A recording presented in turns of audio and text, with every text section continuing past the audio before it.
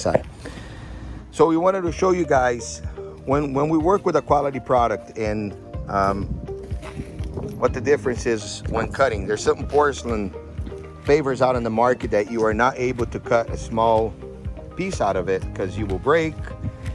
Um, our 3CM porcelain pavers are easy to cut with the proper equipment, with the proper blade and if you do have the experience. So here, you're gonna have a small little cut right there that Antonio is gonna be doing it right now. It's gonna be a little noisy, but we wanted to show you guys our product being cut with a handheld saw.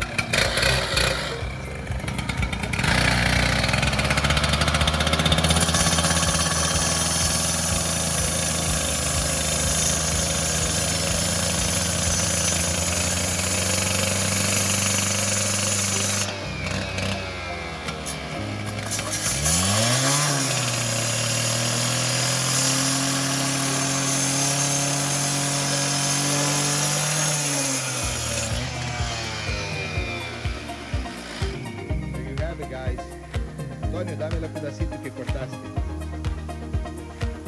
Mostra ahí. There you go. This is the product that he just cut off of our porcelain, guys. Look how thin it is to fit a area in there. And I'll guarantee you, there are many, many uh, porcelain pavers out in the market. You are not able to do that. So we wanted to show her and share it with you guys.